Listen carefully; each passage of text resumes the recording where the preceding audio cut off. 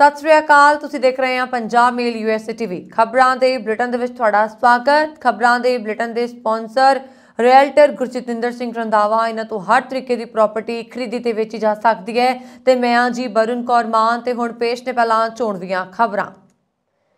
Panama ਵਿੱਚ ਵਾਪਰਿਆ ਭਿਆਨਕ ਸੜਕ ਹਾਦਸਾ, ਖੱਡ ਵਿੱਚ ਬੱਸ ਡਿੱਗਣ ਦੇ ਨਾਲ 39 ਪ੍ਰਵਾਸੀਆਂ ਦੀ ਗਈ ਜਾਨ।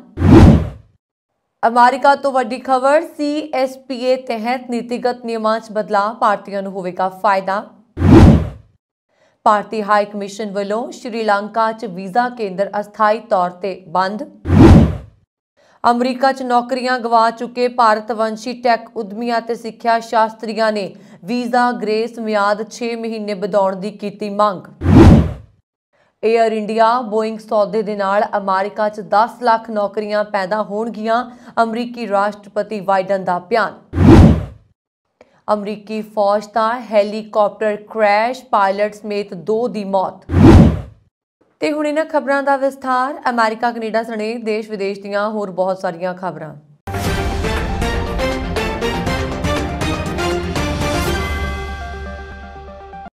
ਪਨਾਮਾ ਦੇ ਪੱਛਮੀ ਹਿੱਸੇ ਵਿੱਚ ਇੱਕ ਬੱਸ ਖੱਡ ਵਿੱਚ ਡਿੱਗ ਜਾਣ ਕਾਰਨ ਘੱਟੋ-ਘੱਟ 39 ਪ੍ਰਵਾਸੀਆਂ ਦੀ ਮੌਤ ਹੋ ਗਈ ਹੈ ਅਤੇ ਤਕਰੀਬਨ 20 ਹੋਰ ਜ਼ਖਮੀ ਹੋ ਗਏ ਨੇ। ਅਧਿਕਾਰੀਆਂ ਨੇ ਇਹ ਜਾਣਕਾਰੀ ਸਾਂਝੀ ਕੀਤੀ ਹੈ। ਹਾਲਾਂਕਿ, ਅਧਿਕਾਰੀਆਂ ਨੇ ਅਜੇ ਇਹ ਨਹੀਂ ਦੱਸਿਆ ਕਿ ਬੱਸ ਵਿੱਚ ਸਵਾਰ ਯਾਤਰੀ ਕਿਹਨਾਂ ਦੇਸ਼ਾਂ ਦੇ ਨਾਗਰਿਕ ਸਨ। ਬੱਸ ਵਿੱਚ 66 ਪ੍ਰਵਾਸੀ ਸਵਾਰ ਸਨ। ਪਨਾਮਾ ਦੇ ਕੌਮੀ ਇਮੀਗ੍ਰੇਸ਼ਨ ਸੇਵਾ ਦੀ ਨਿਰਦੇਸ਼ਕ ਸਮੀਰਾ ਗੋਜ਼ੈਨ ਨੇ ਕਿਹਾ ਕਿ ਬੁੱਧਵਾਰ ਤੜਕੇ ਬੱਸ ਖੜੀ ਚੜਾਈ ਵਾਲੇ ਰਾਜਮਾਰਗ ਤੇ ਇੱਕ ਹੋਰ ਬੱਸ ਨਾਲ ਟਕਰਾ ਗਈ। ਉਸ ਵੇਲੇ ਇਹ ਹਾਦਸਾ ਵਾਪਰਿਆ। ਪਿਛਲੇ ਤਕਰੀਬਨ ਇੱਕ ਦਹਾਕੇ ਵਿੱਚ ਪਨਾਮਾ 'ਚ ਵਾਪਰਿਆ ਇਹ ਸਭ ਤੋਂ ਵੱਡਾ ਭਿਆਨਕ ਹਾਦਸਾ ਹੈ, ਜਿਸ ਵਿੱਚ ਪ੍ਰਵਾਸੀਆਂ ਦੀ ਜਾਨ ਗਈ ਹੈ ਅਮਰੀਕੀ ਰਾਸ਼ਟਰਪਤੀ ਜੋ ਬਾਈਡਨ ਦੇ ਪ੍ਰਸ਼ਾਸਨ ਨੇ ਚਾਈਲਡ ਸਟੇਟਸ ਪ੍ਰੋਟੈਕਸ਼ਨ ਐਕਟ ਦੇ ਤਹਿਤ ਕੁਝ ਸਥਿਤੀਆਂ ਦੇ ਵਿੱਚ ਪ੍ਰਵਾਸੀਆਂ ਦੀ ਉਮਰ ਗਣਨਾ ਕਰਨ ਦੇ ਉਦੇਸ਼ ਨਾਲ ਇੱਕ ਨੀਤੀ ਮੈਨੂਅਲ ਨੂੰ ਅਪਡੇਟ ਕਰਨ ਦਾ ਐਲਾਨ ਕੀਤਾ ਹੈ ਇਸ ਕਦਮ ਭਾਵੇਂ ਛੋਟਾ ਹੈ ਪਰ ਇਸ ਨੂੰ ਉਹਨਾਂ ਲੋਕਾਂ ਦੀਆਂ ਸਮੱਸਿਆਵਾਂ ਨੂੰ ਦੂਰ ਕਰਨ ਦਾ ਇੱਕ ਅਹਿਮ ਕਦਮ ਦੇ ਤੌਰ ਤੇ ਦੇਖਿਆ ਜਾ ਸਕਦਾ ਹੈ ਜਿਨ੍ਹਾਂ ਦੀ ਵੀਜ਼ਾ ਪ੍ਰਾਪਤ ਕਰਨ ਦੇ ਲਈ ਉਮਰ ਸੀਮਾ ਨਿਕਲ ਚੁੱਕੀ ਹੈ ਜਦੋਂ ਕਿ ਉਹ ਬੱਚਿਆਂ ਦੇ ਰੂਪ ਦੇ ਵਿੱਚ ਵੈਦ ਢੰਗ ਦੇ ਨਾਲ, ਆਪਣੇ ਮਾਤਾ-ਪਿਤਾ ਦੇ ਨਾਲ ਅਮਰੀਕਾ ਆਏ ਸੀ, ਇਹਨਾਂ 'ਚ ਵੱਡੀ ਗਿਣਤੀ 'ਚ ਭਾਰਤੀ ਨੇ। ਪਰਿਵਾਰ ਪ੍ਰਯੋਜਿਤ ਜਾਂ ਰੁਜ਼ਗਾਰ ਆਧਾਰਿਤ ਵੀਜ਼ਾ ਲਈ ਆਪਣੇ ਮਾਤਾ-ਪਿਤਾ ਦੀ ਮਨਜ਼ੂਰਸ਼ੁਦਾ ਅਰਜ਼ੀ ਦੇ ਆਧਾਰ ਤੇ ਸੰਯੁਕਤ ਰਾਜ ਅਮਰੀਕਾ ਵਿੱਚ ਕਾਨੂੰਨੀ ਸਥਾਈ ਨਿਵਾਸੀ ਦਾ ਦਰਜਾ ਪ੍ਰਾਪਤ ਕਰਨ ਦੇ ਲਈ ਵਿਨੇਕਾਰ ਦੀ ਉਮਰ 21 ਸਾਲ ਤੋਂ ਘੱਟ ਹੋਣੀ ਚਾਹੀਦੀ ਹੈ। ਜੇਕਰ ਵਿਨੇਕਾਰ ਇਮੀਗ੍ਰੇਸ਼ਨ ਪ੍ਰਕਿਰਿਆ ਦੇ ਦੌਰਾਨ 21 ਸਾਲ ਦਾ ਹੋ ਜਾਂਦਾ ਹੈ, ਭਾਵ ਜੇਕਰ ਉਹ ਨਿਰਧਾਰਤ ਉਮਰ ਤੋਂ ਵੈਧ ਹੈ, ਤਾਂ ਉਹ ਆਮ ਤੌਰ ਤੇ ਅਰਜ਼ੀ ਦੇ ਆਧਾਰ ਤੇ ਮਾਪਿਆਂ ਨਾਲ ਰਹਿਣ ਦਾ ਹੱਕਦਾਰ ਨਹੀਂ ਹੈ। ਨਿਰਧਾਰਤ ਉਮਰ ਬੀਤ ਜਾਣ ਕਾਰਨ ਪਰੇਸ਼ਾਨੀਆਂ ਦਾ ਸਾਹਮਣਾ ਕਰ ਰਹੇ ਕਰੀਬ 2 ਲੱਖ ਲੋਕਾਂ ਦੀ ਅਗਵਾਈ ਕਰਨ ਵਾਲੇ ਇੰਪਰੂਵ ਡ੍ਰੀਮ ਡਾਟ ਆਰਗੇਨਾਈਜੇਸ਼ਨ ਦੇ ਦੀਪ ਪਟੇਲ ਨੇ ਕਿਹਾ ਕਿ US citizenship and immigration services ਨੇ ਅਧਿਕਾਰਤ ਤੌਰ ਤੇ ਨੀਤੀ ਵਿੱਚ ਬਦਲਾਅ ਕੀਤਾ ਹੈ, ਜਿਸ ਦੀ ਅਸੀਂ ਲੰਬੇ ਸਮੇਂ ਤੋਂ ਬੇਨਤੀ ਕਰ ਰਹੇ ਸੀ। USCIS CSPA ਦੀ ਉਮਰ ਨਿਰਧਾਰਿਤ ਕਰਨ ਦੇ ਲਈ ਫਾਈਲਿੰਗ ਚਾਰਟ ਤਰੀਕਾਂ ਦੀ ਵਰਤੋਂ ਕਰੇਗਾ ਤੇ ਪਹਿਲਾਂ ਅਸਵੀਕਾਰ ਕੀਤੀਆਂ ਗਈਆਂ ਅਰਜ਼ੀਆਂ ਨੂੰ ਦੁਬਾਰਾ ਭਰਿਆ ਜਾ ਸਕਦਾ ਹੈ। ਇਹਨਾਂ ਪ੍ਰਵਾਸੀਆਂ ਦੀ ਉਮਰ ਦੀ ਗਣਨਾ ਕਰਨ ਦੇ ਉਦੇਸ਼ ਦੇ ਲਈ ਫਾਈਨਲ ਐਕਸ਼ਨ ਡੇਟ ਚਾਰਟ ਦੀ ਬਜਾਏ ਫਾਈਲਿੰਗ ਚਾਰਟ ਦੀਆਂ ਤਰੀਕਾਂ ਦੀ ਵਰਤੋਂ ਕਰੇਗਾ। ਅਮਰੀਕੀ ਵਿਦੇਸ਼ ਵਿਭਾਗ ਦੇ ਵੀਜ਼ਾ ਬੁਲੇਟਿਨ ਦੀ ਵਰਤੋਂ ਇਹ ਨਿਰਧਾਰਤ ਕਰਨ ਦੇ ਲਈ ਕੀਤੀ ਜਾਂਦੀ ਹੈ ਕਿ ਵੀਜ਼ਾ ਨੰਬਰ ਕਦੋਂ ਉਪਲਬਧ ਹੋਏਗਾ। ਵੀਜ਼ਾ ਬੁਲੇਟਿਨ ਵਿੱਚ ਦੋ ਚਾਰਟ ਹੁੰਦੇ ਨੇ। ਫਾਈਲਿੰਗ ਚਾਰਟ ਦੀਆਂ ਤਾਰੀਖਾਂ ਤੇ ਅੰਤਿਮ ਕਾਰਵਾਈ ਤਾਰੀਖਾਂ ਚਾਰਟ। ਸ੍ਰੀਲੰਕਾ ਵਿੱਚ ਭਾਰਤੀ ਹਾਈ ਕਮਿਸ਼ਨ ਦੇ ਵੀਜ਼ਾ ਪ੍ਰੋਸੈਸਿੰਗ ਕੇਂਦਰ ਨੂੰ ਬੀਤੀ ਰਾਤ ਸੁਰੱਖਿਆ ਸੰਬੰਧੀ ਵਾਪਰੀ ਇੱਕ ਘਟਨਾ ਕਾਰਨ ਅਸਥਾਈ ਤੌਰ ਤੇ ਬੰਦ ਕਰ ਦਿੱਤਾ ਗਿਆ। ਹਾਈ ਕਮਿਸ਼ਨ ਨੇ ਬੁੱਧਵਾਰ ਨੂੰ ਇੱਥੇ ਇਹ ਐਲਾਨ ਕੀਤਾ। ਇੱਕ ਪੁਲਿਸ ਸੂਤਰ ਦੇ ਅਨੁਸਾਰ ਵੀਜ਼ਾ ਕੇਂਦਰ ਵਿੱਚ ਕਥਿਤ ਤੌਰ ਤੇ ਇੱਕ ਚੋਰੀ ਹੋਈ ਸੀ, ਜਿਸ ਤੋਂ ਬਾਅਦ ਭਾਰਤੀ ਹਾਈ ਕਮਿਸ਼ਨ ਨੂੰ ਵੀਜ਼ਾ ਪ੍ਰੋਸੈਸਿੰਗ ਕੇਂਦਰ ਬੰਦ ਕਰਨਾ ਪਿਆ। ਹਾਈ ਕਮਿਸ਼ਨ ਨੇ ਇੱਕ ਬਿਆਨ 'ਚ ਕਿਹਾ, ਬੀਤੀ ਰਾਤ ਵਾਪਰੀ ਸੁਰੱਖਿਆ ਘਟਨਾ ਦੇ ਕਾਰਨ visa application centre IVS private limited Colombo ਅਗਲੇ ਨੋਟਿਸ ਤੱਕ ਬੰਦ ਰਹੇਗਾ। ਇਸ ਵਿੱਚ ਕਿਹਾ ਗਿਆ ਹੈ ਕਿ ਸਾਰੇ ਬਿਨੇਕਾਰਾਂ ਨੂੰ ਬੇਨਤੀ ਕੀਤੀ ਜਾਂਦੀ ਹੈ ਕਿ ਉਸ ਅਨੁਸਾਰ ਆਪਣੀਆਂ ਪਹਿਲਾਂ ਤੋਂ ਨਿਰਧਾਰਤ ਮੁਲਾਕਾਤਾਂ ਆਈਵੀਐਸ ਪ੍ਰਾਈਵੇਟ ਲਿਮਟਿਡ ਦੇ ਵਿੱਚ ਦੁਬਾਰਾ ਸੂਚੀਬੱਧ ਕਰ ਲੈਣ।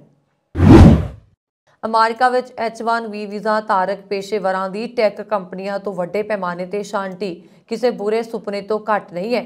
ਭਾਰਤੀ ਅਮਰੀਕੀ ਟੈਕ ਉਦਮੀ ਅਤੇ ਸਿੱਖਿਆ ਸ਼ਾਸਤਰੀਆਂ ਨੇ ਕਿਹਾ ਕਿ ਜੇਕਰ ਅਮਰੀਕੀ ਰਾਸ਼ਟਰਪਤੀ ਜੋ ਬਾਈਡਨ ਵੀਜ਼ਾ ਬਿਨੇ ਮਿਆਦ ਨੂੰ 60 ਦਿਨਾਂ ਤੋਂ ਵਧਾ ਕੇ 6 ਮਹੀਨੇ ਦਾ ਆਦੇਸ਼ ਜਾਰੀ ਕਰਨ ਤਾਂ ਇਹਨਾਂ ਪੇਸ਼ੇਵਰਾਂ ਨੂੰ ਰਾਹਤ ਮਿਲ ਸਕਦੀ ਹੈ। ਇਸ ਆਦੇਸ਼ ਦਾ ਮਤਲਬ ਇਹ ਹੋਏਗਾ ਕਿ ਨੌਕਰੀ ਜਾਣ ਤੇ H1B ਵੀਜ਼ਾ ਧਾਰਕ ਵਿਦੇਸ਼ੀ ਟੈਕ ਕਰਮਚਾਰੀਆਂ ਨੂੰ 2 ਮਹੀਨੇ ਦੇ ਅੰਦਰ ਦੇਸ਼ ਛੱਡਣ ਦੀ ਬਜਾਏ ਨਵੀਂ ਨੌਕਰੀ ਦੀ ਤਲਾਸ਼ ਲਈ 6 ਮਹੀਨੇ ਦਾ ਸਮਾਂ ਮਿਲ ਜਾਏਗਾ। ਸਿਲੀਕਾਨ ਵੈਲੀ ਵਿੱਚ Carnegie Mellon school of engineering ਦੇ ਨਾਮੀ ਫੈਲੋ ਤੇ ਸਹਾਇਕ ਪ੍ਰੋਫੈਸਰ ਵਿਵੇਕ ਬਦਵਾ ਨੇ ਕਿਹਾ ਕਿ ਰਾਸ਼ਟਰਪਤੀ ਬਾਈਡਨ ਨੂੰ H1B ਵੀਜ਼ਾ ਧਾਰਕਾਂ ਲਈ ਵੀਜ਼ਾ ਗ੍ਰੇਸ ਮਿਆਦ ਵਧਾਉਣ ਦੇ ਲਈ ਕਾਰਜਕਾਰੀ ਆਦੇਸ਼ ਜਾਰੀ ਕਰਨੇ ਚਾਹੀਦੇ ਨੇ। H1B ਵੀਜ਼ਾ ਗੈਰ ਅਪਰਵਾਸੀ ਵੀਜ਼ਾ ਹੈ, ਜੋ ਅਮਰੀਕੀ ਕੰਪਨੀਆਂ ਨੂੰ ਵਿਦੇਸ਼ੀ ਟੈਕ ਪੇਸ਼ੇਵਰਾਂ ਨੂੰ ਵਿਸ਼ੇਸ਼ ਮਿਆਦ ਲਈ ਕੰਪਨੀ ਦਾ ਕਰਮਚਾਰੀ ਨਿਯੁਕਤ ਕਰਨ ਦੀ ਆਗਿਆ ਦਿੰਦਾ ਹੈ। ਇਸ ਦੇ ਲਾਭਪਾਤਰੀਆਂ ਵਿੱਚ ਸਭ ਤੋਂ ਵੱਧ ਭਾਰਤ ਤੇ ਚੀਨ ਦੇ ਪੇਸ਼ੇਵਰ ਨੇ। ਵਾਸ਼ਿੰਗਟਨ ਪੋਸਟ ਦੇ ਮੁਤਾਬਕ ਲੰਗੀ ਨਵੰਬਰ ਵਿੱਚ ਹੁਣ ਤੱਕ ਗੂਗਲ ਮਾਈਕਰੋਸਾਫਟ ਐਮਾਜ਼ਨ ਤੇ ਫੇਸਬੁੱਕ ਵਰਗੀਆਂ ਵੱਡੀਆਂ ਕੰਪਨੀਆਂ ਵਿੱਚੋਂ 2 ਲੱਖ ਤੋਂ ਵੱਧ ਕਰਮਚਾਰੀ ਨੌਕਰੀਆਂ ਤੋਂ ਕੱਢੇ ਜਾ ਚੁੱਕੇ ਨੇ। H1B ਵੀਜ਼ਾ ਧਾਰਕਾਂ ਸਾਹਮਣੇ ਇਸ ਨਾਲ ਵੱਡੀ ਸਮੱਸਿਆ ਆ ਗਈ ਹੈ। ਅਮਰੀਕੀ ਰਾਸ਼ਟਰਪਤੀ ਜੋ ਬਾਈਡਨ ਨੇ ਪ੍ਰਧਾਨ ਮੰਤਰੀ ਨਰਿੰਦਰ ਮੋਦੀ ਨੂੰ ਕਿਹਾ ਕਿ ਇਤਿਹਾਸਿਕ 에ਅਰ ਇੰਡੀਆ ਬੋਇੰਗ ਕਰਾਰ ਨਾਲ ਅਮਰੀਕਾ ਦੇ 44 ਸੂਬਿਆਂ ਦੇ ਵਿੱਚ 10 ਲੱਖ ਨੌਕਰੀਆਂ ਦੇ ਮੌਕੇ ਪੈਦਾ ਹੋਣਗੇ ਅਤੇ ਦੁਵੱਲੇ ਸੰਬੰਧ ਹੋਰ ਮਜ਼ਬੂਤ ਹੋਣਗੇ। ਦੱਸਣਯੋਗ ਹੈ ਕਿ ਬੋਇੰਗ ਅਤੇ 에ਅਰ ਇੰਡੀਆ ਨੇ ਮੰਗਲਵਾਰ ਨੂੰ ਇੱਕ ਸੌਦੇ ਦਾ ਐਲਾਨ ਕੀਤਾ, ਜਿਸ ਤਹਿਤ ਟਾਟਾ ਗਰੁੱਪ ਦੀ ਮਾਲਕੀ ਵਾਲੀ 에ਅਰਲਾਈਨ 34 ਅਰਬ ਡਾਲਰ ਦੇ ਨਾਲ 190 ਬੀ 737 MAX 20B 787 ਅਤੇ 10B 777X ਸਣੇ ਕੁੱਲ 220 ਜਹਾਜ਼ ਖਰੀਦੇਗੀ। ਪ੍ਰਧਾਨ ਮੰਤਰੀ ਨਰਿੰਦਰ ਮੋਦੀ ਨਾਲ ਇਸ ਕਰਾਰ ਬਾਰੇ ਚਰਚਾ ਕਰਦੇ ਅਮਰੀਕੀ ਰਾਸ਼ਟਰਪਤੀ ਨੇ ਕਿਹਾ ਕਿ ਉਹ ਭਾਰਤ ਤੇ ਅਮਰੀਕਾ ਵਿਚਾਲੇ ਦੁਵੱਲੇ ਸੰਬੰਧ ਹੋਰ ਗੁੜੇ ਕਰਨ ਵੱਲ ਦੇਖ ਰਹੇ ਨੇ। ਅਮਰੀਕੀ ਰਾਸ਼ਟਰਪਤੀ ਬਾਈਡਨ ਨੇ ਫੋਨ ਤੇ ਕਿਹਾ ਕਿ ਖਰੀਦ ਨਾਲ ਅਮਰੀਕਾ ਦੇ 44 ਸੂਬਿਆਂ ਦੇ ਵਿੱਚ 10 ਨੌਕਰੀਆਂ ਦੇ ਮੌਕੇ ਪੈਦਾ ਹੋਣਗੇ ਅਤੇ ਕਈਆਂ ਨੂੰ 4 ਸਾਲ ਕਾਲਜ ਡਿਗਰੀ ਦੀ ਲੋੜ ਵੀ ਨਹੀਂ ਹੋਏਗੀ। 에ਅਰ ਇੰਡੀਆ ਦਾ ਇਹ ਬੋਇੰਗ ਨਾਲ ਕੀਮਤ ਦੇ ਮਾਮਲੇ 'ਚ ਤੀਜਾ ਸਭ ਤੋਂ ਵੱਡਾ ਤੇ ਜਹਾਜ਼ਾਂ ਦੀ ਗਿਣਤੀ ਦੇ ਮਾਮਲੇ 'ਚ ਦੂਜਾ ਸਭ ਤੋਂ ਵੱਡਾ ਕਰਾਰ ਹੈ। ਗੱਲਬਾਤ ਦੇ ਦੌਰਾਨ ਦੋਵਾਂ ਨੇਤਾਵਾਂ ਨੇ ਚਰਚਾ ਦੇ ਦੌਰਾਨ ਸਾਂਝੀਆਂ ਤਰਜੀਹਾਂ ਤੇ ਸਹਿਯੋਗ ਅਤੇ ਅਮਰੀਕਾ ਭਾਰਤ ਸੰਬੰਧੀ ਦੀ ਮਜ਼ਬੂਤ ਦੇ ਲਈ ਦੋਵੇਂ ਦੇਸ਼ਾਂ ਦੇ ਵਿੱਤੀ ਵਿਕਾਸ ਤੇ ਤਾਲਮੇਲ ਵਧਾਉਣ ਕੁਆਡ ਵਰਗੇ ਸਮੂਹਾਂ 'ਚ ਰਲ ਕੇ ਕੰਮ ਕਰਦੇ ਰਹਿਣ ਦੀ ਵਚਨਬੱਧਤਾ ਵੀ ਦੁਹਰਾਈ। ਅਮਰੀਕਾ ਦੇ ਅਲਬਾਮਾ ਦੇ ਵਿੱਚ ਇੱਕ ਬਲੈਕ ਹਾਕ ਹੈਲੀਕਾਪਟਰ ਕਰੈਸ਼ ਹੋ ਗਿਆ, ਜਿਸ ਵਿੱਚ ਸਵਾਰ ਦੋ ਲੋਕਾਂ ਦੀ ਮੌਤ ਹੋ ਗਈ। ਮਾਡਸਨ ਕਾਉਂਟੀ ਸ਼ਾਰਿਫ ਦਫ਼ਤਰ ਦੇ ਬੁਲਾਰੇ ਨੇ ਦੱਸਿਆ ਕਿ ਬੁੱਧਵਾਰ ਨੂੰ ਅਮਰੀਕਾ ਦੇ ਅਲਬਾਮਾ ਸੂਬੇ 'ਚ Tennessee National Guard Black Hawk helicopter ਹਾਦਸਾਗ੍ਰਸਤ ਹੋ ਗਿਆ। ਜਿਸ ਕਾਰਨ ਉਸ ਵਿੱਚ ਸਵਾਰ ਸਾਰੇ ਲੋਕਾਂ ਦੀ ਮੌਤ ਹੋ ਗਈ। ਹੈਲੀਕਾਪਟਰ ਹਾਦਸੇ ਦੀ ਜਾਂਚ ਕਰਨ ਵਾਲੇ ਅਧਿਕਾਰੀ ਬ੍ਰੈਂਟ ਨੇ ਕਿਹਾ ਕਿ ਸਾਡੇ ਕੋਲ ਕੋਈ ਵੀ ਨਹੀਂ ਬਚਿਆ। ਉਹਨਾਂ ਨੇ ਕਿਹਾ ਕਿ ਅਸੀਂ ਅਪਰਾਧ ਸੀਨ ਦੀ ਜਾਂਚ ਕਰ ਰਹੇ ਹਾਂ। ਐਸੋਸੀਏਟਿਡ ਪ੍ਰੈਸ ਦੇ ਬੁਲਾਰੇ ਨੇ ਕਿਹਾ ਕਿ ਅਪਰਾਧ ਵਾਲੀ ਥਾਂ ਨੂੰ ਫਿਲਹਾਲ ਸੀਲ ਕਰ ਦਿੱਤਾ ਗਿਆ ਹੈ। ਰਿਪੋਰਟਾਂ ਦੇ ਮੁਤਾਬਕ ਹੈਲੀਕਾਪਟਰ ਟ੍ਰੇਨਿੰਗ ਮਿਸ਼ਨ ਤੇ ਸੀ, ਜਦੋਂ ਤੜਕੇ 3:30 ਮਿੰਟ ਤੇ ਕ੍ਰੈਸ਼ ਹੋ ਗਿਆ ਅਤੇ ਅੱਗ ਲੱਗ ਗਈ। ਅਮਰੀਕਾ ਦੇ ਮਿਸੂਰੀ ਸੂਬੇ ਵਿੱਚ ਕਤਲ ਦੇ ਦੋਸ਼ ਵਿੱਚ ਕਰੀਬ 28 ਸਾਲ ਸਲਾਖਾਂ ਪਿੱਛੇ ਬਤਾਉਣ ਵਾਲੇ ਇੱਕ ਵਿਅਕਤੀ ਨੂੰ ਅਦਾਲਤ ਨੇ ਬੇਕਸੂਰ ਕਰਾਰ ਦਿੱਤਾ ਹੈ। ਡੇਵਿਡ ਮੇਸਨ ਦੀ ਅਦਾਲਤ ਵਿੱਚ ਸੁਣਵਾਈ ਤੋਂ ਬਾਅਦ ਸਬੂਤਾਂ ਦੇ ਆਧਾਰ ਤੇ ਲੈਮਨ ਜੌਨਸਨ ਨੂੰ ਬੇਕਸੂਰ ਪਾਇਆ ਗਿਆ ਤੇ ਉਹਨਾਂ ਸੈਂਟ ਲੂਇਸ ਕੋਰਟ ਰੂਮ ਤੋਂ ਮੰਗਲਵਾਰ ਨੂੰ ਸਨਮਾਨ ਨਾਲ ਰਿਹਾ ਕੀਤਾ ਗਿਆ। ਉਹਨਾਂ ਨੂੰ 1994 ਦੇ ਵਿੱਚ ਇੱਕ ਵਿਅਕਤੀ ਮਾਰਕ ਦੇ ਕਤਲ ਦਾ ਦੋਸ਼ੀ ਠਹਿਰਾਇਆ ਗਿਆ ਸੀ। ਪਿਛਲੇ ਸਾਲ ਅਟਾਰਨੀ ਕਿਮ ਨੇ ਇਨੋਸੈਂਸ ਪ੍ਰੋਜੈਕਟ ਗੈਰ ਲਾਭਕਾਰੀ ਕਾਨੂੰਨੀ ਸੰਗਠਨ ਦੇ ਨਾਲ ਮਿਲ ਕੇ ਜਾਂਚ ਕਰਨ ਤੋਂ ਬਾਅਦ ਜੌਨਸਨ ਦੀ ਰਿਹਾਈ ਦੀ ਮੰਗ ਕਰਨ ਵਾਲੀ ਪਟੀਸ਼ਨ ਦਾਇਰ ਕੀਤੀ ਸੀ। ਮੰਗਲਵਾਰ ਦੀ ਸੁਣਵਾਈ ਤੋਂ ਬਾਅਦ ਜੌਨਸਨ ਦੀ ਕਾਨੂੰਨੀ ਟੀਮ ਨੇ ਰਾਜ ਦੇ ਅਟਾਰਨੀ ਜਨਰਲ ਦੇ ਦਫ਼ਤਰ ਦੀ ਆਲੋਚਨਾ ਕੀਤੀ। ਇਸ ਕਾਰਨ ਉਹਨਾਂ ਨੂੰ ਇੰਨੇ ਸਾਲਾਂ ਤੱਕ ਜੇਲ੍ਹ ਵਿੱਚ ਰੱਖਿਆ ਗਿਆ। ਜ਼ਿਕਰਯੋਗ ਹੈ ਕਿ ਅਕਤੂਬਰ 1994 ਦੇ ਵਿੱਚ ਜੌਨਸਨ ਦੇ ਸਾਹਮਣੇ ਵਾਲੇ ਬੇੜੇ 'ਚ ਦੋ ਨਕਾਬਪੋਸ਼ ਵਿਅਕਤੀਆਂ ਨੇ ਮਾਰਕਸ ਦਾ ਗੋਲੀ ਮਾਰ ਕੇ ਕਤਲ ਕਰ ਦਿੱਤਾ ਸੀ, ਜਿਸ ਤੋਂ ਬਾਅਦ ਜੌਨਸਨ ਨੂੰ ਗ੍ਰਿਫਤਾਰ ਕੀਤਾ ਗਿਆ।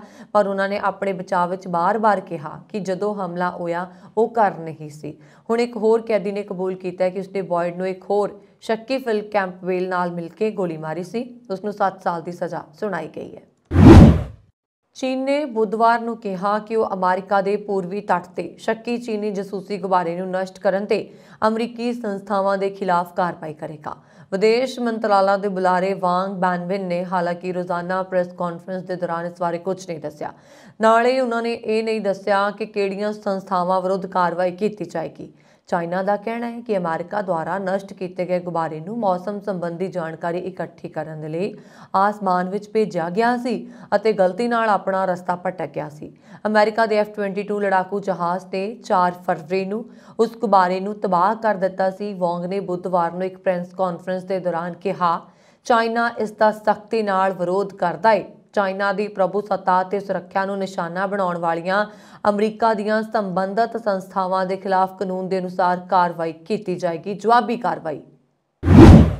ਜਹਾਜ਼ ਬਣਾਉਣ ਵਾਲੀ ਕੰਪਨੀ ਬੋਇੰਗ ਸਪੇਸ ਸਟੇਸ਼ਨ ਬਣਾਉਣ ਅਤੇ ਇਸ ਨੂੰ ਪੁਲਾੜ ਵਿੱਚ ਭੇਜਣ ਦੇ ਮਿਸ਼ਨ ਤੇ ਕੰਮ ਕਰ ਰਹੀ ਹੈ। ਇਸ ਮਿਸ਼ਨ ਦੇ ਲਈ ਨਾਸਾ ਦੀ ਮਦਦ ਲਈ ਗਈ ਹੈ। ਬੋਇੰਗ ਕੰਪਨੀ ਪਹਿਲਾਂ ਵੀ ਮਨੁੱਖ ਰਹਿਤ ਪੁਲਾੜ ਸਟੇਸ਼ਨ ਭੇਜ ਚੁੱਕੀ ਹੈ, ਪਰ ਹੁਣ ਇਨਸਾਨ ਦੀ ਵਾਰੀ ਹੈ। ਨਾਸਾ ਦੇ ਦੋ ਸੀਨੀਅਰ ਵਿਗਿਆਨੀ ਬੁਚ ਬਿਲਮੌਰ ਅਤੇ ਭਾਰਤੀ ਮੂਲ ਦੀ ਸੁਨੀਤਾ ਵਿਲਜ਼ੀਅਮ ਨੂੰ ਮਿਸ਼ਨ ਲਈ ਚੁਣਿਆ ਗਿਆ ਹੈ। ਹੁਣ ਤੱਕ ਕਈ ਪੁਲਾੜ ਯਾਨ ਮਨੁੱਖਾਂ ਨੂੰ ਪੁਲਾੜ ਵਿੱਚ ਲੈ ਜਾ ਚੁੱਕੇ ਨੇ, ਪਰ ਬੋਇੰਗ ਸਟਾਰ ਲਾਈਨਰ ਕੈਲੀਪੋਸੋ ਮਨੁੱਖਾਂ ਨੂੰ ਲੈ ਕੇ ਜਾਣ ਵਾਲਾ ਪਹਿਲਾ ਜਹਾਜ਼ ਹੋਏਗਾ। ਇਹ ਜਾਣਕਾਰੀ ਸੁਨੀਤਾ ਵਿਲਜ਼ੀਅਮ ਦੇ ਪਰਿਵਾਰ ਦੀ ਕਰੀਬੀ ਦੋਸਤ ਨੇ ਦਿੱਤੀ। ਹਾਲਾਂਕਿ ਮਿਸ਼ਨ ਜੁਲਾਈ 2022 ਵਿੱਚ ਆਯੋਜਿਤ ਕੀਤਾ ਜਾਣਾ ਸੀ, ਪਰ ਕਰੋਨਾ ਮਹਾਮਾਰੀ ਕਾਰਨ ਇਸ ਨੂੰ 1 ਸਾਲ ਲਈ ਟਾਲ ਦਿੱਤਾ ਗਿਆ।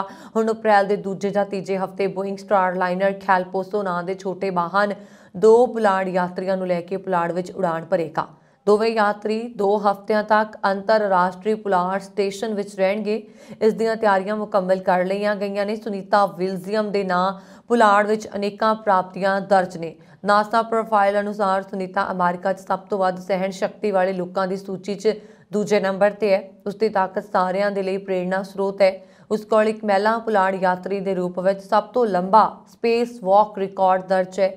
ਸੁਨੀਤਾ ਵਿਲਜ਼ੀਅਮ ਨੂੰ 1998 ਵਿੱਚ ਨਾਸਾ ਦੁਆਰਾ ਇੱਕ ਪੁਲਾੜ ਯਾਤਰੀ ਵਜੋਂ ਚੁਣਿਆ ਗਿਆ ਸੀ ਅਤੇ ਉਹ ਦੋ ਪੁਲਾੜ ਮਿਸ਼ਨਾਂ ਦੀ ਇੱਕ ਅਨੁਭਵੀ ਹੈ। ਸਿਖਲਾਈ ਅਤੇ ਵਿਸ਼ਲੇਸ਼ਣ ਤੋਂ ਬਾਅਦ ਸੁਨੀਤਾ ਨੇ ਮਾਸਕੋ ਵਿੱਚ ਰੂਸੀ ਪੁਲਾੜ ਏਜੰਸੀ ਦੇ ਨਾਲ ਪੁਲਾੜ ਸਟੇਸ਼ਨ ਤੇ ਪਹਿਲੇ ਮਿਸ਼ਨ ਦੇ ਚਾਲਕ ਦਲ ਦੇ ਨਾਲ ਕੰਮ ਕੀਤਾ। ਹੁਣ ਭਾਰਤੀ ਅਮਰੀਕੀ ਸੁਨੀਤਾ ਵਿਲਜ਼ੀਅਮ ਬੋਇੰਗ ਸਟਾਰ ਲਾਈਨਰ ਕੈਪਸੂਲ ਵਿੱਚ ਆਪਣੀ ਪਹਿਲੀ ਉਡਾਨ ਭਰੇਗੀ। ਬੰਦੂਕਧਾਰੀ ਜਿਸ ਨੇ ਮਿਸ਼ੀਗਨ ਸਟੇਟ ਯੂਨੀਵਰਸਿਟੀ ਦੇ ਵਿੱਚ ਗੋਲੀ ਚਲਾ ਕੇ ਤਿੰਨ ਵਿਦਿਆਰਥੀਆਂ ਦੀ ਹੱਤਿਆ ਕਰ ਦਿੱਤੀ ਸੀ। ਅਤੇ ਪੰਜ ਹੋਰਨਾਂ ਨੂੰ ਗੰਭੀਰ ਜ਼ਖਮੀ ਕਰ ਦਿੱਤਾ ਸੀ। ਉਸ ਦੀ ਯੋਜਨਾ ਨਿਊ ਜਰਸੀ ਦੇ ਦੋ ਹੋਰ ਸਕੂਲਾਂ ਉੱਪਰ ਹਮਲਾ ਕਰਨ ਦੀ ਸੀ। ਇਹ ਪ੍ਰਗਟਾਵਾ ਪੁਲਿਸ ਨੇ ਇੱਕ ਬਿਆਨ ਵਿੱਚ ਕੀਤਾ ਹੈ ਮਿਸ਼ੀਗਨ ਸਟੇਟ ਯੂਨੀਵਰਸਿਟੀ ਪੁਲਿਸ ਦੇ ਅਨੁਸਾਰ 43 ਸਾਲਾ ਐਂਥਨੀ ਡਵੇਨ ਮੈਕਰੇ ਨੇ ਸੋਮਵਾਰ ਤੇ ਸ਼ਾਮ ਨੂੰ ਯੂਨੀਵਰਸਿਟੀ ਦੇ ਵਿੱਚ ਅੰਧਾਧੁੰਦ ਗੋਲੀਆਂ ਚਲਾਉਣ ਉਪਰੰਤ ਖੁਦ ਨੂੰ ਵੀ ਗੋਲੀ ਮਾਰ ਕੇ ਖਤਮ ਕਰ ਲਿਆ। ਜਦੋਂ ਪੁਲਿਸ ਨੇ ਮੈਕਰੇ ਦੀ ਤਲਾਸ਼ੀ ਲਈ ਤਾਂ ਉਸ ਦੀ ਜੇਬ 'ਚੋਂ ਇੱਕ ਨੋਟ ਮਿਲਿਆ। ਜਿਸ ਵਿੱਚ ਦੋ ਹੋਰ ਸਕੂਲਾਂ ਨੂੰ ਅਗਲਾ ਨਿਸ਼ਾਨਾ ਬਣਾਉਣ ਦਾ ਜ਼ਿਕਰ ਹੈ ਜਦੋਂ ਉਸਨੇ ਗੋਲੀਆਂ ਚਲਾਉਣੀਆਂ ਸ਼ੁਰੂ ਕੀਤੀਆਂ ਤਾਂ ਵਿਦਿਆਰਥੀਆਂ ਨੇ ਖਿੜਕੀਆਂ ਵਿੱਚੋਂ ਛਾਲਾ ਮਾਰ ਕੇ ਆਪਣੇ ਆਪ ਨੂੰ ਬਚਾਉਣ ਦਾ ਯਤਨ ਕੀਤਾ। ਮਾਰੇ ਗਏ ਵਿਦਿਆਰਥੀਆਂ ਦੀ ਪਛਾਣ junior Alexandria Warner, junior Earl Anderson ਤੇ ਸੋਫੋਮੋਰ ਬਰੀਅਨ ਫਰੇਜ਼ਰ ਵਜੋਂ ਹੋਈ ਹੈ। ਭਾਰਤੀ ਮੂਲ ਦੇ ਅਮਰੀਕਾ ਦੇ ਪਾਸਾਡੇਨਾ ਵਾਸੀ 41 ਸਾਲਾ ਧਰਮੇਸ਼ ਏ ਪਟੇਲ, ਜਿਸ ਵਿਰੁੱਧ ਪੁਲਿਸ ਵੱਲੋਂ ਜਾਣਬੁੱਝ ਕੇ ਕਾਰ ਖੱਡ 'ਚ ਸੁੱਟਣ ਕਰਕੇ ਆਪਣੇ ਪਰਿਵਾਰ ਨੂੰ ਮਾਰਨ ਦੇ ਦੋਸ਼ ਆਇਦ ਕੀਤੇ ਗਏ ਨੇ।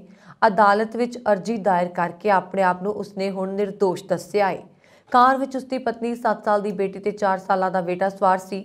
ਬੇਟੀ ਇਸ ਹਾਦਸੇ ਵਿੱਚ ਗੰਭੀਰ ਜ਼ਖਮੀ ਹੋ ਗਈ ਜਦਕਿ ਬੇਟੇ ਦੇ ਮਾਮਲੇ 'ਚ ਰੀਟਾਂ ਆਈਆਂ, ਹਾਲਾਂਕਿ ਪਰਿਵਾਰ ਇਸ ਘਟਨਾ ਵਿੱਚ ਬਚ ਗਿਆ। ਪਰ ਪੁਲਿਸ ਨੇ ਪਟੇਲ ਵਿਰੁੱਧ ਹੱਤਿਆ ਦੇ ਦੋਸ਼ ਆਇਦ ਕੀਤੇ। ਸਾਨ ਮਾਂਟਨਿਊ ਡਿਸਟ੍ਰਿਕਟ ਅਟਾਰਨੀ ਸਟੀਫ ਵੌਕਸਟਾਫ ਅਨੁਸਾਰ ਪਟੇਲ ਦੀ ਪਤਨੀ ਦੇ ਬਿਆਨ ਚਸ਼ਮਦੀਦ ਗਵਾਹਾਂ ਤੋਂ ਕੀਤੀ ਪੁੱਛਗਿੱਛ ਤੇ ਸੜਕ ਦੀ ਵੀਡੀਓ ਪਟੇਲ ਨੂੰ ਦੋਸ਼ੀ ਸਾਬਤ ਕਰਨ ਦੇ ਲਈ ਕਾਫੀ ਸਬੂਤ ਨੇ। ਮਾਮਲੇ ਦੀ ਮੁੱਢਲੀ ਸੁਣਵਾਈ 20 ਮਾਰਚ ਨੂੰ ਹੋਣੀ ਹੈ। ਪਟੇਲ ਨੇ ਕੈਲੀਫੋਰਨੀਆ ਦੇ ਜਾਣੇ ਪਛਾਣੇ ਵਕੀਲ ਜੋਸ਼ੂਆ ਬਾਂਟਲੇ ਦੀਆਂ ਸੇਵਾਵਾਂ ਲਈਆਂ ਨੇ। ਲਾਸ ਏਂਜਲਸ ਦੇ Providence Holy Cross Medical Center ਵਿੱਚ ਰੇਡੀਓਲੋਜਿਸਟ ਵਜੋਂ ਤਾਇਨਾਤ ਪਟੇਲ ਜੇਕਰ ਦੋਸ਼ੀ ਸਾਬਤ ਹੋ ਜਾਂਦਾ ਹੈ ਤਾਂ ਉਸ ਨੂੰ ਉਮਰ ਕੈਦ ਦੀ ਸਜ਼ਾ ਹੋ ਸਕਦੀ ਹੈ। ਦਿੱਲੀ ਅਤੇ ਬੰਬਈ ਸਥਿਤ ਬੀਬੀਸੀ ਦੇ ਦਫ਼ਤਰਾਂ 'ਚ ਮੰਗਲਵਾਰ ਸਵੇਰੇ ਆਮਦਨ ਕਰ ਵਿਭਾਗ ਵੱਲੋਂ ਸ਼ੁਰੂ ਕੀਤਾ ਗਿਆ ਸਰਵੇ। ਅਜੇ ਵੀ ਜਾਰੀ ਹੈ। ਆਮਦਨ ਕਰ ਵਿਭਾਗ ਦਾ ਇਹ ਸਰਵੇਖਣ 2002 ਦੇ ਗੁਜਰਾਤ ਦੰਗਿਆਂ ਤੇ ਬੀਬੀਸੀ ਦੀ ਡਾਕੂਮੈਂਟਰੀ ਤੋਂ ਬਾਅਦ ਸਾਹਮਣੇ ਆਇਆ ਹੈ। ਇਸ ਦੌਰਾਨ ਅਮਰੀਕਾ ਨੇ ਵੀ ਇਸ ਮਾਮਲੇ ਤੇ ਪ੍ਰਤੀਕਿਰਿਆ ਦਿੱਤੀ ਹੈ। ਉਹਨਾਂ ਨੇ ਮੰਗਲਵਾਰ ਨੂੰ ਕਿਹਾ ਕਿ ਉਹ ਦਿੱਲੀ ਵਿੱਚ ਬੀਬੀਸੀ ਦਫ਼ਤਰ ਵਿੱਚ ਭਾਰਤੀ ਟੈਕਸ ਅਧਿਕਾਰੀਆਂ ਵੱਲੋਂ ਕੀਤੇ ਸਰਵੇਖਣ ਦੀ ਮੁਹਿੰਮ ਤੋਂ ਜਾਣੂ ਨੇ, ਪਰ ਉਹ ਫਿਲਹਾਲ ਕੋਈ ਫੈਸਲਾ ਲੈਣ ਦੀ ਸਥਿਤੀ ਵਿੱਚ ਨਹੀਂ ਹਨ।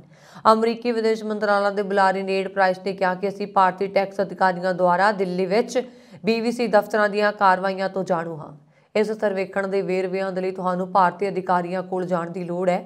ਨੀਡ ਪ੍ਰਾਈਸ ਨੇ ਕਿਹਾ ਕਿ ਮੈਂ ਇਸ ਕਾਰਵਾਈ ਤੇ ਸਿਰਫ ਇਹ ਕਹਾਂਗਾ, ਇਹ ਇੱਕ ਆਮ ਮੁੱਦਾ ਹੈ। ਇਸ ਦੌਰਾਨ ਆਮਦਨ ਕਰ ਅਧਿਕਾਰੀਆਂ ਨੇ ਕਿਹਾ ਕਿ ਸਰਚ ਆਪਰੇਸ਼ਨ ਟੈਕਸ ਚੋਰੀ ਦੀ ਜਾਂਚ ਦਾ ਹਿੱਸਾ ਨੇ। ਨੀਡ ਪ੍ਰਾਈਸ ਨੇ ਅੱਗੇ ਕਿਹਾ ਕਿ ਅਸੀਂ ਦੁਨੀਆ ਭਰ ਵਿੱਚ ਆਜ਼ਾਦ ਪ੍ਰੈਸ ਦੀ ਮਹੱਤਤਾ ਦਾ ਸਮਰਥਨ ਕਰਦੇ ਹਾਂ। ਅਸੀਂ ਮਨੁੱਖੀ ਅਧਿਕਾਰਾਂ ਵਜੋਂ ਪ੍ਰਗਟਾਵੇ ਦੀ ਆਜ਼ਾਦੀ ਅਤੇ ਧਰਮ ਜਾਂ ਵਿਸ਼ਵਾਸ ਦੀ ਆਜ਼ਾਦੀ ਦੇ ਮਹੱਤਵ ਨੂੰ ਰੇਖਾਂਕਿਤ ਕਰਦੇ ਹਾਂ, ਜੋ ਵਿਸ਼ਵ ਭਰ ਵਿੱਚ ਲੋਕਤੰਤਰ ਨੂੰ ਮਜ਼ਬੂਤ ਕਰਨ 'ਚ ਯੋਗਦਾਨ ਪਾਉਂਦੇ ਨੇ। ਉਹਨਾਂ ਨੇ ਕਿਹਾ ਕਿ ਇਸ ਦੇ ਨਾਲ ਭਾਰਤ ਦਾ ਲੋਕਤੰਤਰ ਮਜ਼ਬੂਤ ਹੋਇਆ ਹੈ ਉਹਨਾਂ ਨੇ ਕਿਹਾ ਕਿ ਇਹ ਵਿਸ਼ਵ ਵਿਆਪੀ ਅਧਿਕਾਰ ਦੁਨੀਆ ਭਰ ਦੇ ਲੋਕਤੰਤਰਾਂ ਦੇ ਆਧਾਰ ਤੇ ਨੇ। ਜਦੋਂ ਤੋਂ ਐਲਨ ਮਸਕ ਨੇ ਟਵਿੱਟਰ ਦਾ ਅਹੁਦਾ ਸੰਭਾਲਿਆ ਹੈ, ਉਦੋਂ ਤੋਂ ਹੀ ਕੰਪਨੀ ਸੁਰਖੀਆਂ ਵਿੱਚ ਹੈ। ਹਰ ਵਾਰ ਕੰਪਨੀ ਦੇ ਸੀਈਓ ਪਲੇਟਫਾਰਮ ਤੇ ਕੀਤੇ ਗਏ ਬਦਲਾਅ ਕਦੇ ਲੋਕਾਂ ਨੂੰ ਪਸੰਦ ਹੁੰਦੇ ਨੇ ਅਤੇ ਕਦੇ ਵਿਰੋਧ ਕਰਦੇ ਨੇ। ਅਸੀਂ ਵੀ ਅਜਿਹਾ ਹੀ ਇੱਕ ਵਿਸ਼ੇ ਬਾਰੇ ਗੱਲ ਕਰਨ ਆਇਆ ਉਹਨਾਂ ਨੇ ਕਿਹਾ ਕਿ ਟਵਿੱਟਰ ਨੇ ਬੁੱਧਵਾਰ ਨੂੰ ਕੈਨਾਬਿਸ ਕੰਪਨੀਆਂ ਨੂੰ ਸੰਯੁਕਤ ਰਾਜ ਵਿੱਚ ਆਪਣੇ ਬ੍ਰਾਂਡਾਂ ਅਤੇ ਉਤਪਾਦਾਂ ਦੀ ਮਾਰਕੀਟਿੰਗ ਕਰਨ ਦੀ ਆਗਿਆ ਦਿੱਤੀ। ਅਜਿਹਾ ਕਰਨ ਵਾਲਾ ਪਹਿਲਾ ਸੋਸ਼ਲ ਮੀਡੀਆ ਪਲੇਟਫਾਰਮ ਬਣ ਗਿਆ ਹੈ ਕੰਪਨੀ ਨੇ ਪਹਿਲਾਂ ਕੇਵਲ ਭੰਗ ਤੋਂ ਪ੍ਰਾਪਤ CBD ਟੌਪੀਕਲ ਉਤਪਾਦਾਂ ਦੇ ਵਿਗਿਆਪਨ ਦੀ ਆਗਿਆ ਦਿੱਤੀ, ਜਦੋਂ ਕਿ ਫੇਸਬੁੱਕ ਇੰਸਟਾਗ੍ਰam ਅਤੇ ਟਿਕਟੌਕ ਸਮੇਤ ਹੋਰ ਸੋਸ਼ਲ ਮੀਡੀਆ ਪਲੇਟਫਾਰਮ ਕੋਈ ਕੈਨਾਬਿਸ ਵਿਗਿਆਪਨ ਨੀਤੀ ਦੀ ਪਾਲਣਾ ਨਹੀਂ ਕਰਦੇ ਨੇ, ਕਿਉਂਕਿ ਪੋਰਟ ਸੰਗੀ ਪੱਧਰ ਤੇ ਗੈਰ ਕਾਨੂੰਨੀ ਹੈ। ਹਾਲਾਂਕਿ ਸੰਯੁਕਤ ਰਾਜ ਦੇ ਹੋਰ ਰਾਜ ਵੀ ਭੰਗ ਦੀ ਵਿਕਰੀ ਦੀ ਆਗਿਆ ਦੇਣ ਵੱਲ ਵੱਧ ਰਹੇ ਨੇ 21 ਰਾਜ ਪਹਿਲਾਂ ਹੀ ਸ਼ਾਮਲ ਹੋ ਗਏ ਨੇ। ਟਵਿੱਟਰ ਨੇ ਕਿਹਾ ਕਿ ਇਹ ਕੈਨਾਬਿਸ ਕੰਪਨੀਆਂ ਨੂੰ ਇਸ਼ਤਿਹਾਰ ਦਿਖਾਉਣ ਦੀ ਆਗਿਆ ਦੇਗੀ। ਜਦੋਂ ਤੱਕ ਉਹਨਾਂ ਕੋਲ ਸਹੀ ਲਾਇਸੈਂਸ ਹੈ, ਉਹ ਕੇਵਲ ਉਹਨਾਂ ਅਧਿਕਾਰ ਖੇਤਰਾਂ ਨੂੰ ਨਿਸ਼ਾਨਾ ਬਣਾ ਸਕਦੇ ਨੇ। ਇਸ ਦੀ ਪ੍ਰਵਾਨਗੀ ਪ੍ਰਕਿਰਿਆ ਵਿੱਚੋਂ ਲੰਘਦੇ ਹੋਏ ਜਿੱਥੇ ਉਹਨਾਂ ਨੂੰ ਕੰਮ ਕਰਨ ਦੇ ਲਈ ਲਾਇਸੈਂਸ ਦਿੱਤਾ ਗਿਆ ਹੈ, ਸਭ ਤੋਂ ਮਹੱਤਵਪੂਰਨ 21 ਸਾਲ ਤੋਂ ਘੱਟ ਉਮਰ ਦੇ ਲੋਕਾਂ ਨੂੰ ਨਿਸ਼ਾਨਾ ਨਹੀਂ ਬਣਾਇਆ ਜਾ ਸਕਦਾ। ਸਨ ਹੋਜ਼ੇ ਸਿਟੀ ਕਾਉਂਸਲ ਵੱਲੋਂ ਸਾਕਾ ਨਕੋਦਰ ਨੂੰ ਮਾਨਤਾ ਦੇਣ ਦਾ ਐਲਾਨ ਕੀਤਾ ਗਿਆ ਹੈ। ਮੇਅਰ ਮੈਟ ਮਹਿਨ, ਕੌਂਸਲਮੈਨ ਡੋਮੀਗੋ, ਕੈਂਡਲੇਸ ਅਤੇ ਸਾਰੇ ਕੌਂਸਲਮੈਨਾਂ ਨੇ ਇਸ ਮਤੇ ਤੇ ਦਸਤਖਤ ਕੀਤੇ ਅਤੇ ਇਹ ਮਾਨਤਾ ਪੱਤਰ ਭਾਈ ਰਵਿੰਦਰ ਸਿੰਘ ਦੇ ਭਰਾ ਡਾਕਟਰ ਹਰਿੰਦਰ ਸਿੰਘ ਨੂੰ ਭੇਂਟ ਕੀਤਾ। ਇੱਥੇ ਦੱਸਣਯੋਗ ਹੈ ਕਿ 4 ਫਰਵਰੀ 1986 ਨੂੰ ਸਿੱਖ ਵਿਦਿਆਰਥੀ ਭਾਈ ਰਵਿੰਦਰ ਸਿੰਘ, ਭਾਈ ਬਲਦੀਰ ਸਿੰਘ, ਭਾਈ ਚਿਲਮਲ ਸਿੰਘ ਅਤੇ ਭਾਈ ਹਰਮਿੰਦਰ ਸਿੰਘ ਦੀ ਨਕੋਦਰ ਵਿਖੇ ਇੱਕ ਸ਼ਾਂਤਮਈ ਪ੍ਰਦਰਸ਼ਨ ਦੇ ਦੌਰਾਨ ਪੁਲਿਸ ਵੱਲੋਂ ਹੱਤਿਆ ਕਰ ਦਿੱਤੀ ਗਈ ਸੀ।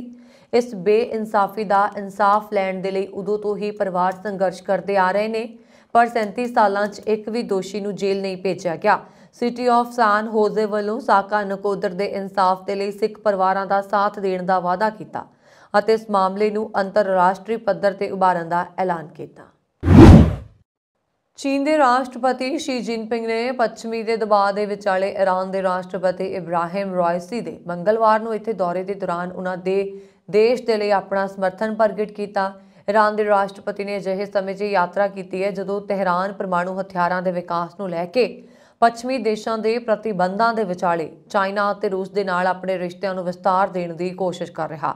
ਸ਼ੀ ਨੇ ਬੀਜਿੰਗ ਵੱਲੋਂ ਇਸਤੇਮਾਲ ਕੀਤੀ ਜਾਣ ਵਾਲੀ ਭਾਸ਼ਾ 'ਚ ਰਾਈਸੀ ਦੀ ਸਰਕਾਰ ਦੇ ਲਈ ਸਮਰਥਨ ਪ੍ਰਗਟ ਕੀਤਾ ਤੇ ਗਲੋਬਲ ਮਾਮਲਿਆਂ 'ਚ ਅਮਰੀਕਾ ਦੇ ਖਿਲਾਫ ਜ਼ਹਿਰ ਉਗਲਦੇ ਹੋਏ ਵਾਸ਼ਿੰਗਟਨ ਦੇ ਦਬਦਬੇ ਦੀ ਆਲੋਚਨਾ ਕੀਤੀ।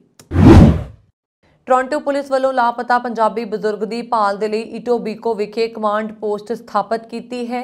ਪੁਲਿਸ ਦਾ ਕਹਿਣਾ ਹੈ ਕਿ 84 ਸਾਲ ਦੇ ਰਤਨ ਨੂੰ ਆਖਰੀ ਵਾਰ ਕ੍ਰਿਸਕੋਡੀ ਡਰਾਈਵ ਅਤੇ ਫੈਂਚ ਐਵਨਿਊ ਵੈਸਟ ਇਲਾਕੇ ਵਿੱਚ ਪੈਦਲ ਜਾਂਦਿਆਂ ਦੇਖਿਆ ਗਿਆ। ਰਤਨ ਦਾ ਹੁਲੀਆ ਜਾਰੀ ਕਰਦਿਆਂ ਪੁਲਿਸ ਨੇ ਦੱਸਿਆ ਕਿ ਕੱਦ 5 ਫੁੱਟ 2 ਇੰਚ ਅਤੇ ਵਜ਼ਨ ਤਕਰੀਬਨ 120 ਪਾਉਂਡ ਹੈ। ਜੇ ਕਿਸੇ ਕੋਲ ਲਾਪਤਾ ਬਜ਼ੁਰਗ ਬਾਰੇ ਕੋਈ ਜਾਣਕਾਰੀ ਹੈ ਤਾਂ ਉਹ ਤੁਰੰਤ ਨੰਬਰਾਂ ਤੇ ਸੰਪਰਕ ਕਰ ਸਕਦੇ ਨੇ ਜਾਂ ਗੁਪਤ ਤਰੀਕੇ ਦੇ ਨਾਲ ਵੀ ਜਾਣਕਾਰੀ ਦੇ ਸਕਦੇ ਨੇ। ਨੰਬਰ ਦੱਸੇ ਨੇ 4168082300 ਕੈਨੇਡਾ ਵਿੱਚ ਮਕਾਨ ਹੋਰ ਸਸਤੇ ਹੋਣਗੇ ਅਤੇ ਮੌਜੂਦਾ ਵਰੇ ਦੇ ਅੱਧ ਤੱਕ ਕੀਮਤਾਂ 30% ਤੱਕ ਘਟ ਸਕਦੀਆਂ ਨੇ। ਟੋਰਾਂਟੋ ਸਟਾਰ ਵੱਲੋਂ ਪ੍ਰਕਾਸ਼ਿਤ ਆਕਸਫੋਰਡ ਇਕਨੋਮਿਕਸ ਦੀ ਤਾਜ਼ਾ ਰਿਪੋਰਟ ਦੇ ਮੁਤਾਬਕ ਰਿਸੈਸ਼ਨ ਦੀ ਸੂਰਤ ਵਿੱਚ ਘਰਾਂ ਦੀਆਂ ਕੀਮਤਾਂ 48% ਤੱਕ ਡਿੱਗ ਸਕਦੀਆਂ ਨੇ। ਰਿਪੋਰਟ ਵਿੱਚ ਕਈ ਪਹਿਲੂਆਂ ਦਾ ਜ਼ਿਕਰ ਕੀਤਾ ਗਿਆ ਹੈ, ਜਿਨ੍ਹਾਂ ਦੇ ਮੁਤਾਬਕ ਕੈਨੇਡਾ ਵਿੱਚ ਮਕਾਨਾਂ ਦੀਆਂ ਕੀਮਤਾਂ ਨਿਰਭਰ ਕਰਨਗੀਆਂ। ਪੰਜਾਬ ਵਿੱਚ ਆਰਪੀਜੀ ਹਮਲੇ ਦਾ ਮਾਸਟਰਮਾਈਂਡ। ਲਖਵੀਰ ਸਿੰਘ ਲੰਡਾ ਦੇ ਖਿਲਾਫ ਐਨਆਈਏ ਨੇ 15 ਲੱਖ ਰੁਪਏ ਦਾ ਇਨਾਮ ਐਲਾਨ ਕੀਤਾ ਹੈ। ਪੰਜਾਬ ਦੇ ਤਰਨਤਾਰਨ ਜ਼ਿਲ੍ਹਾ ਦੇ ਹਰੀਕੇ ਪਿੰਡ ਦਾ ਰਹਿਣ ਵਾਲਾ ਲਖਵੀਰ ਫਿਲਹਾਲ ਕੈਨੇਡਾ ਦੇ ਐਡਮਿੰਟਨ ਵਿੱਚ ਲੁਕਿਆ ਹੋਇਆ ਹੈ। ਐਨਆਈਏ ਨੇ ਉਸ ਦੇ ਖਿਲਾਫ ਪਿਛਲੇ ਸਾਲ 20 ਅਗਸਤ ਨੂੰ ਆਈਪੀਸੀ ਦੀ ਧਾਰਾ 120 ਔਰ 121 121 ਅਤੇ ਗੈਰ ਕਾਨੂੰਨੀ ਸਰਗਰਮੀਆਂ ਰੋਕਥਾਮ ਐਕਟ 1967 ਦੀ ਧਾਰਾ 17 18 18 20 ਅਤੇ 38 ਦੇ ਤਹਿਤ ਦੇਸ਼ ਦੇ ਵਿਭਿੰਨ ਹਿੱਸਿਆਂ 'ਚ ਗੈਰ ਕਾਨੂੰਨੀ ਸਰਗਰਮੀਆਂ 'ਚ ਦਾਖਲ ਹੋਣ ਦਾ ਮਾਮਲਾ ਦਰਜ ਕੀਤਾ ਸੀ। ਅਲਬਰਟਾ ਸਰਕਾਰ ਵਿੱਚ ਜਨਤਕ ਸੁਰੱਖਿਆ ਤੇ ਐਮਰਜੈਂਸੀ ਸੇਵਾਵਾਂ ਦੇ ਮੰਤਰੀ ਮਾਈਕ ਐਲਿਸ ਨੇ ਕੈਲਗਰੀ ਦੀ mayor Jyoti Gondek, Calgary police office ਦੇ chief Mark Neufeld, Alberta sheriff ਦੇ ਕਾਰਜਕਾਰੀ ਮੁਖੀ ਬੌਬ ਐਂਡਰਿਊਜ਼ ਅਤੇ ਮਾਨਸਿਕ ਸਿਹਤ ਅਤੇ ਨਸ਼ਾ ਮੁਕਤੀ ਮੰਤਰੀ ਨਿਕੋਲਸ ਮਿਲਕਿਨ ਦੇ ਨਾਲ ਮਿਲ ਕੇ ਪ੍ਰੈਸ ਕਾਨਫਰੰਸ ਨੂੰ ਸੰਬੋਧਨ ਕਰਦਿਆਂ ਐਲਾਨ ਕੀਤਾ ਕਿ ਲੋਕਾਂ ਦੀ ਸੁਰੱਖਿਆ ਸਾਡੀ ਸਭ ਤੋਂ ਵੱਡੀ ਪਹਿਲ ਹੈ। ਜਿਸ ਕਾਰਨ ਸ਼ਹਿਰ ਵਿੱਚ ਪੁਲਿਸ ਨਾਲ ਸ਼ਾਰਿਫ ਵੀ ਤਾਇਨਾਤ ਕੀਤੇ ਨੇ ਅਤੇ ਤਾਂ ਜੋ ਲੋਕ ਸੁਰੱਖਿਆ ਮਹਿਸੂਸ ਕਰਨ। ਮੇਅਰ ਜੋਤੀ ਗੌਂਡੇਕ ਨੇ 12 ਹਫ਼ਤੇ ਦੇ ਪਾਇਲਟ ਪ੍ਰੋਗਰਾਮ 'ਚ ਸੀਪੀਐਸ ਗਸ਼ਤ ਵਿੱਚ 12 ਸ਼ਰੀਫ ਨੂੰ ਸ਼ਾਮਲ ਕਰਨ ਦੇ ਯਤਨ ਦਾ ਸਵਾਗਤ ਕੀਤਾ। ਬੰਗਲਾਦੇਸ਼ ਤੋਂ ਕੈਨੇਡਾ 'ਚ ਪੜਨ ਆਏ ਤਿੰਨ ਵਿਦਿਆਰਥੀਆਂ ਦੀ ਟੋਰਾਂਟੋ 'ਚ ਇੱਕ ਸੜਕ ਹਾਦਸੇ ਵਿੱਚ ਮੌਤ ਹੋ ਜਾਣ ਦੀ ਖਬਰ ਹੈ। ਮਰਨ ਵਾਲਿਆਂ 'ਚ ਇੱਕ ਵਿਦਿਆਰਥਣ ਵੀ ਸ਼ਾਮਲ ਹੈ, ਜਦੋਂ ਕਿ ਇੱਕ ਲੜਕਾ ਅਜੇ ਵੀ ਜ਼ਖਮੀ ਹਾਲਤ ਵਿੱਚ ਹਸਪੀਟਲ 'ਚ ਦਾਖਲ ਹੈ। ਪੁਲਿਸ ਦੇ ਅਨੁਸਾਰ ਸੋਮਵਾਰ ਦੀ ਅੱਧੀ ਕੁ ਰਾਤ ਵੇਲੇ ਬਹੁਤ ਤੇਜ਼ ਰਫ਼ਤਾਰ ਕਾਰ ਹਾਈਵੇ 427 ਤੋਂ ਡੰਡਾਸ ਸਟਰੀਟ ਵੱਲ ਸੜਕ ਤੋਂ ਲੈ ਕੇ ਸੀਮੈਂਟ ਦੀਆਂ ਰੋਕਾਂ 'ਚ ਵੱਜੀ, ਜਿਸ ਕਾਰਨ ਉਸ ਨੂੰ ਅੱਗ ਲੱਗ ਗਈ। ਮਗਰਲੀ ਸੀਟ ਤੇ ਬੈਠੇ ਮੁੰਡਿਆਂ ਨੂੰ ਜਿਉਂਦੇ ਬਾਹਰ ਨਹੀਂ ਕੱਢਿਆ ਜਾ ਸਕਿਆ, ਪਰ ਮੋਰਲੀ ਸੀਟ ਤੇ ਬੈਠੇ ਲੜਕੇ ਅਤੇ ਲੜਕੀ ਨੂੰ ਬਚਾਓ ਅਮਲੇ ਨੇ ਕੱਢ ਕੇ ਹਸਪੀਟਲ ਪਹੁੰਚਾਇਆ, ਜਿੱਥੇ ਲੜਕੀ ਦੀ ਮੌਤ ਹੋ ਗਈ। ਸਾਰਿਆਂ ਦੀਆਂ ਉਮਰਾਂ 17 ਤੋਂ 21 ਸਾਲ ਦਰਮਿਆਨ ਦੱਸੀਆਂ ਗਈਆਂ, ਪਰ ਪੁਲਿਸ ਵੱਲੋਂ ਅਜੇ ਉਹਨਾਂ ਦੇ ਨਾਮ ਜਾਰੀ ਨਹੀਂ ਕੀਤੇ ਗਏ। ਘਟਨਾ 'ਚ ਕੋਈ ਹੋਰ ਵਾਹਨ ਸ਼ਾਮਲ ਨਹੀਂ ਹੈ। ਜਰਮਨੀ ਦੀ ਲੁਫਥਾਂਸਾ 에ਅਰਲਾਈਨਸ ਦੇ ਕੰਪਿਊਟਰ ਸਿਸਟਮ ਦੇ ਵਿੱਚ ਬੁੱਧਵਾਰ ਨੂੰ ਤਕਨੀਕੀ ਖਰਾਬੀ ਆਈ। ਇਸ ਕਾਰਨ ਦਰਜਨਾ ਉਡਾਣਾਂ ਰੱਦ ਕਰ ਦਿੱਤੀਆਂ ਗਈਆਂ। ਕੰਪਨੀ ਨੇ ਆਪਣੇ ਬਿਆਨ 'ਚ ਕਿਹਾ ਕਿ ਇਹ ਸਮੱਸਿਆ ਆਈਟੀ ਸਿਸਟਮ ਦੀ ਖਰਾਬੀ ਕਾਰਨ ਹੋਈ ਏ। ਇਸ ਨੂੰ ਜਲਦੀ ਠੀਕ ਕਰਨ ਦੀ ਕੋਸ਼ਿਸ਼ ਵੀ ਕੀਤੀ ਗਈ ਸੀ।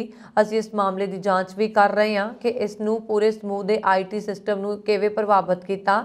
ਜ਼ਿਕਰਯੋਗ ਹੈ ਕਿ ਬੀਤੇ ਮਹੀਨੇ ਅਮਰੀਕਾ ਵਿੱਚ ਵੀ ਅਜਿਹੀ ਹੀ ਸਮੱਸਿਆ ਸਾਹਮਣੇ ਆਈ ਸੀ ਅਤੇ ਇਸ ਕਾਰਨ ਹਜ਼ਾਰਾਂ ਉਡਾਣਾਂ ਨੂੰ ਰੱਦ ਕਰਨਾ ਪਿਆ ਸੀ। ਕੰਪਨੀ ਦੇ ਬੁਲਾਰੇ ਨੇ ਕਿਹਾ ਕਿ ਕੇਵਲ ਲੁਫਥਾਂਸਾ ਗਰੁੱਪ ਦੀਆਂ ਉਡਾਣਾਂ ਪ੍ਰਭਾਵਿਤ ਹੋਈਆਂ ਨੇ। ਅਸੀਂ ਇਸ ਨੂੰ ਬਹੁਤ ਜਲਦੀ ਠੀਕ ਕਰਾਂਗੇ।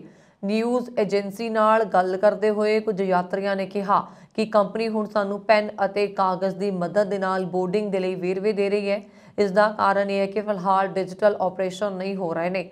ਖਾਸ ਕਰਕੇ ਸਮਾਨ ਦੀ ਸਮੱਸਿਆ ਹੈ। ਖਾਸ ਗੱਲ ਇਹ ਹੈ ਕਿ ਇਹ ਮਾਮਲਾ ਅਜਿਹੇ ਸਮੇਂ ਸਾਹਮਣੇ ਆਇਆ ਜਦੋਂ 2 ਦਿਨ ਬਾਅਦ ਹੀ ਜਰਮਨੀ ਦੇ ਸੱਤ ਹਵਾਈ ਅੱਡਿਆਂ ਦੇ ਕਰਮਚਾਰੀਆਂ ਨੇ ਕੁਝ ਮੰਗਾਂ ਨੂੰ ਲੈ ਕੇ ਹੜਤਾਲ ਤੇ ਜਾਣ ਦੀ ਧਮਕੀ ਦਿੱਤੀ ਹੈ। ਰਾਜਾ ਚਾਰਲਸ ਤਿੰਨ ਦੀ ਪਤਨੀ ਰਾਣੀ ਕੰਸੋਰਟ ਕੈਮਿਲਾ ਕੋਹੀਨੂਰ ਹੀਰੇ ਨਾਲ ਜੁੜੇ ਤਾਜ ਨਹੀਂ ਪਹਿਨੇਗੀ। ਮਹਾਰਾਣੀ ਐਲਿਜ਼ਾਬੈਥ II ਦੀ ਮੌਤ ਤੋਂ ਬਾਅਦ ਕੋਹੀਨੂਰ ਹੀਰੇ ਨਾਲ ਜੁੜੇ ਤਾਜ ਨੂੰ ਰਾਜਾ ਚਾਰਲਸ ਤਿੰਨ ਦੀ ਪਤਨੀ ਰਾਣੀ ਕੰਸੋਰਟ ਕੈਮਿਲਾ ਨੂੰ ਭੇਂਟ ਕੀਤਾ ਗਿਆ ਸੀ। ਕਿੰਗ ਚਾਰਲਸ ਤਿੰਨ ਦੇ ਤਾਜਪੋਸ਼ੀ ਸਮਾਰੋਹ ਦੇ ਵਿੱਚ ਕੈਮਿਲਾ ਨੂੰ ਮਹਾਰਾਣੀ ਮਾਰੀਆ ਦਾ ਤਾਜ ਪਹਿਨਾਇਆ ਜਾਏਗਾ। ਇਹ ਤਾਜ 100 ਸਾਲ ਤੋਂ ਵੱਧ ਪੁਰਾਣਾ ਹੈ ਅਤੇ 1911 ਦੀ ਤਾਜਪੋਸ਼ੀ ਵੇਲੇ ਉਸ ਦੁਆਰਾ ਪਹਿਨਿਆ ਗਿਆ ਸੀ। ਇਸ ਦੇ ਲਈ ਟਾਵਰ ਆਫ ਲੰਡਨ ਦੀ ਪ੍ਰਦਰਸ਼ਨੀ ਤੋਂ ਮਹਾਰਾਣੀ ਮਰੀਆ ਦੇ ਤਾਜ ਨੂੰ ਹਟਾ ਦਿੱਤਾ ਗਿਆ ਹੈ ਬੰਗਿੰਗਮ ਪੈਲੇਸ ਨੇ ਆਪਣੇ ਇੰਸਟਾਗ੍ਰam ਅਕਾਊਂਟ ਤੇ ਇਸ ਖਬਰ ਦਾ ਐਲਾਨ ਕੀਤਾ। ਦੱਸ ਹੈ ਕਿ ਇਤਿਹਾਸ ਵਿੱਚ ਪਹਿਲੀ ਵਾਰ ਰਾਣੀ ਮਰਿਆਦਾ ਦਾ ਤਾਜ ਕੋਈ ਰਾਣੀ ਪਤਨੀ ਪਹਿਨਣ ਜਾ ਰਹੀ ਹੈ। ਜਾਣਕਾਰੀ ਦੇ ਮੁਤਾਬਕ ਕੈਮਿਲਾ ਦੁਆਰਾ ਪਹਿਨੇ ਗਏ ਤਾਜ ਵਿੱਚ ਵੀ ਕੁਝ ਬਦਲਾਅ ਕੀਤੇ ਜਾਣਗੇ। ਹੋਰ ਵੀ ਬਹੁਤ ਸਾਰੇ ਹੀਰੇ ਸ਼ਾਮਿਲ ਕੀਤੇ ਜਾਣਗੇ। ਇਹ ਸਾਰੇ ਹੀਰੇ ਮਹਾਰਾਣੀ ਐਲਿਜ਼ਾਬੈਥ ਦੋ ਦੁਆਰਾ ਆਪਣੇ ਪਹਿਨੇ ਹੋਏ ਗਹਿਣਿਆਂ 'ਚ ਵਰਤੇ ਗਏ ਨੇ। ਯੋਜਨਾਵਾਂ ਦੇ ਅਨੁਸਾਰ ਕਿੰਗ ਚਾਰਲਸ ਅਤੇ ਉਸ ਦੀ ਰਾਣੀ ਪਤਨੀ। ਕੈਮਿਲਾ ਦੀ ਤਾਜਪੋਸ਼ੀ ਸ਼ਨੀਵਾਰ, ਮਈ 6 2023 ਨੂੰ ਵੈਸਟਮਿੰਸਟਰ ਐਬ ਵਿਖੇ ਹੋਏਗੀ। ਮਹਾਰਾਣੀ ਐਲਿਜ਼ਾਬੈਥ II ਨੇ ਇਸ ਸਾਲ ਦੇ ਸ਼ੁਰੂ ਵਿੱਚ ਘੋਸ਼ਣਾ ਕੀਤੀ ਸੀਗੀ ਕਿ ਕੈਮਿਲਾ ਨੂੰ ਰਾਣੀ ਕੰਸੋਰਟ ਵਜੋਂ ਜਾਣਿਆ ਜਾਏਗਾ। ਹਾਲਾਂਕਿ ਕੈਮਿਲਾ ਕੋਲ ਕੋਈ ਸੰਵਿਧਾਨਿਕ ਸ਼ਕਤੀਆਂ ਨਹੀਂ ਹੋਣਗੀਆਂ। ਉੱਥੇ 8 ਮਈ ਨੂੰ ਕੋਰਨੇਸ਼ਨ ਬਿੰਗ ਲੰਚ ਆਯੋਜਿਤ ਕੀਤਾ ਜਾਏਗਾ। ਇਤੇ ਗਵਾਂਡੀਆਂ ਅਤੇ ਭਾਈਚਾਰਿਆਂ ਨੂੰ ਭੋਜਨ ਅਤੇ ਮਨੋਰੰਜਨ ਦੇ ਲਈ ਇਕੱਠੇ ਹੋਣ ਦੇ ਲਈ ਸੱਦਾ ਦਿੱਤਾ ਜਾਂਦਾ ਹੈ। ਬੰਗਿੰਗਮ ਪੈਲਸ ਦੁਆਰਾ ਜਾਰੀ ਪ੍ਰੈਸ ਰਿਲੀਜ਼ ਦੇ ਅਨੁਸਾਰ ਸੇਵਾ ਕੈਂਟਰਬਰੀ ਦੇ ਆਰਚ ਬਿਸ਼ਪ ਦੁਆਰਾ ਸੰਚਾਲਿਤ ਕੀਤੀ ਜਾਏਗੀ। ਇਸ ਸਮਾਰੋਹ ਵਿੱਚ ਦੁਨੀਆ ਦੇ ਕਈ ਮਸ਼ਹੂਰ ਕਲਾਕਾਰ ਸ਼ਿਰਕਤ ਕਰਨਗੇ। ਰੂਸੀ ਫੌਜ ਨੂੰ ਯੂਕਰੇਨ ਦੇ ਪੂਰਬੀ ਇਲਾਕਿਆਂ 'ਚ ਅੱਗੇ ਵਧਣ ਦੇ ਲਈ ਸੰਘਰਸ਼ ਕਰਨਾ ਪੈ ਰਿਹਾ ਹੈ। ਰੂਸ ਵੱਲੋਂ ਤੋਪਾਂ, ਡਰੋਨਾਂ ਤੇ ਮਿਜ਼ਾਈਲਾਂ ਰਾਹੀਂ ਕਈ ਮਹੀਨਿਆਂ ਤੋਂ ਸ਼ਹਿਰੀ ਇਲਾਕਿਆਂ ਨੂੰ ਅੰਨੇਵਾਹ ਨਿਸ਼ਾਨਾ ਬਣਾਇਆ ਜਾ ਰਿਹਾ ਹੈ, ਪਰ ਉਹ ਉੱਥੇ ਕਬਜ਼ਾ ਨਹੀਂ ਕਰ ਸਕਿਆ। ਜੰਗ ਨੂੰ 1 ਸਾਲ ਪੂਰਾ ਹੋਣ ਤੋਂ ਪਹਿਲਾਂ ਮਾਇਰਾਂ ਦਾ ਮੰਨਣਾ ਹੈ ਕਿ ਜੰਗ ਅਹਿਮ ਪੜਾਅ ਤੇ ਪਹੁੰਚ ਗਈ ਹੈ ਤੇ ਦੋਵੇਂ ਮੁਲਕ ਇੱਕ ਦੂਜੇ ਤੇ ਹਮਲੇ ਤੇਜ਼ ਕਰਨ ਦੀ ਰਣਨੀਤੀ ਬਣਾ ਰਹੇ ਨੇ। ਰੂਸ ਵੱਲੋਂ ਦੋਨੇਸਤਕ ਖੇਰਸਨ ਲੋਹਾਨਸਕ ਤੇ ਜ਼ਾਪੋਜ਼ੀਆ ਖਿੱਤਿਆਂ ਤੇ ਆਪਣੀ ਪਕੜ ਮਜ਼ਬੂਤ ਬਣਾਉਣ ਦੀਆਂ ਕੋਸ਼ਿਸ਼ਾਂ ਹੋ ਰਹੀਆਂ ਨੇ।